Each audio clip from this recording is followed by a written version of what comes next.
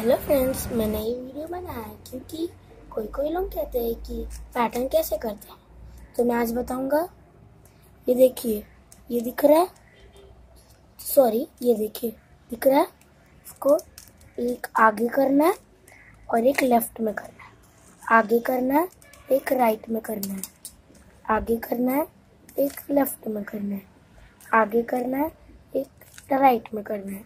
आगे लेफ़्ट आगे राइट आगे लेफ़्ट आगे राइट आगे लेफ़्ट आगे राइट और ये हो गया हमारा सॉल्व फिर मैं नेक्स्ट वीडियो में बताऊँगा डोनेट कैसे करते हैं और और कुछ.